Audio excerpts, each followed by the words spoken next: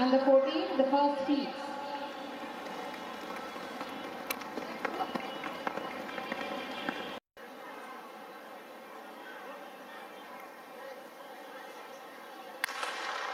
It's the start of the second heat, 60 meter girls under 14.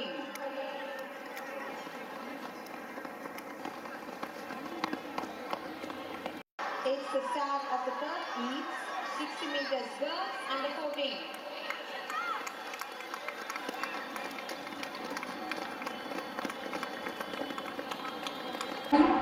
To Mr. Ravi, the President of the Chennai District Athletic Association.